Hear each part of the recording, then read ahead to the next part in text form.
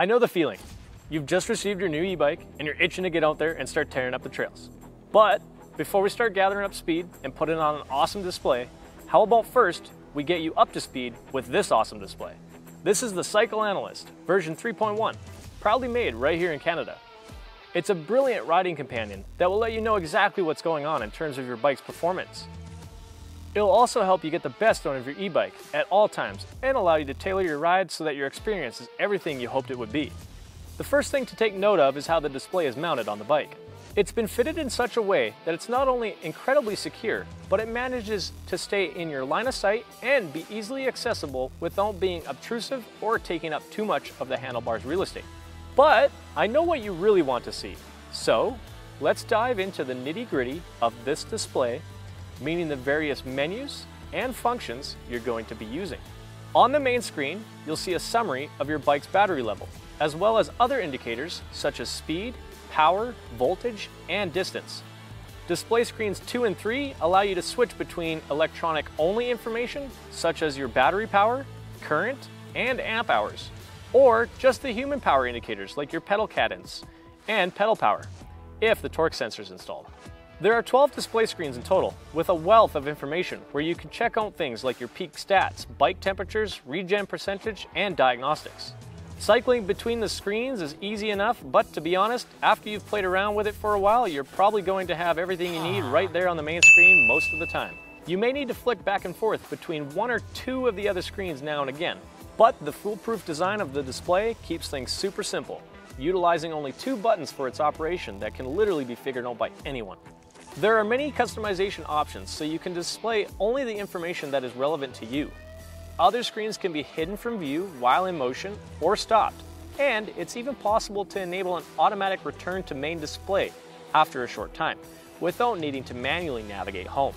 In the top right section of the main screen, by default, there's a customizable display field that toggles between your accumulated amp hours and the distance since your last trip reset. The display field can be configured to show other stats like motor temperature or instantaneous watt hour per kilometer. But a word of advice, you'll generally find the consumed amp hours to be amongst the most useful and important pieces of information on the display.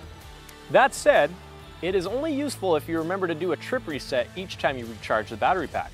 This can be done by holding down the right button until you see the message Reset Trip pop up on the screen. Press the right button again to select Y for yes, and this will ensure that the battery cycle statistics remain accurate. If you ever need to do some servicing on your bike, then it's useful to know the following. Connected to your display are cables for temperature sensor, e-brake, and an aux input. Then there's a cable for PAS plug, one for TRS communications, plus there's a DC power tap, which can be used to get voltage from the battery.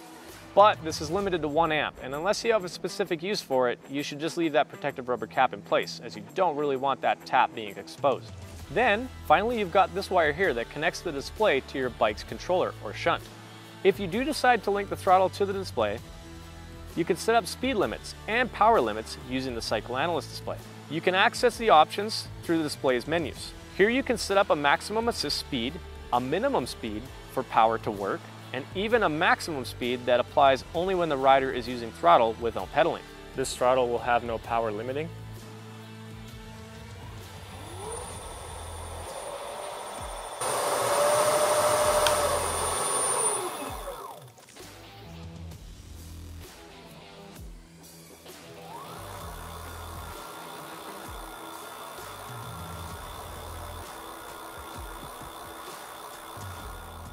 These limits can prove useful for complying with local e-bike regulations, especially if there are different limits for the maximum speed using motor assistance, or limits when pedaling versus using the throttle.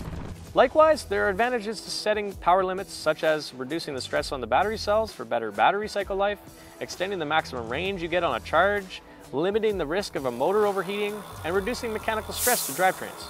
You can choose to limit the power by setting a battery current limit in amps or power limit in watts. The main difference between the two is that amps limit will affect the power as the battery depletes and drops in voltage, while a watts limit remains constant throughout the battery's charge. Generally speaking, an amps limit is used more for protecting the battery pack and a watts limit protects the motor or mechanical drivetrain. If you're ever unsure of anything, please don't hesitate to contact the technical support team. We would be more than happy to help.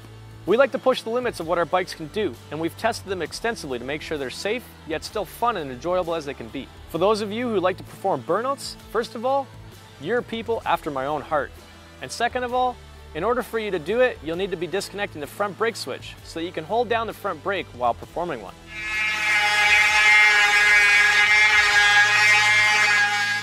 Something else that gets me amped up is the low voltage cutoff feature of the cycle analyst display.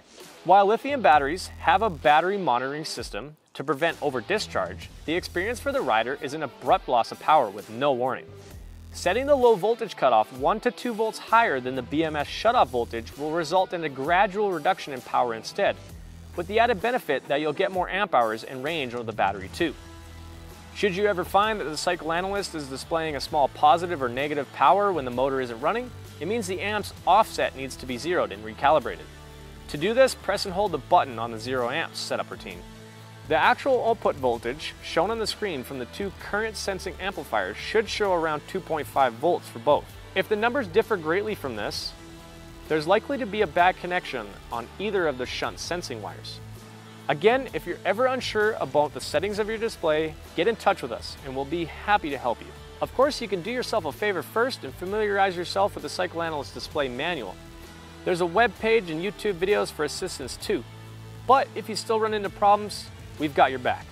Hopefully you're feeling a little bit more informed, more confident, and more ready than ever to get out there now. So go ahead and enjoy the ride.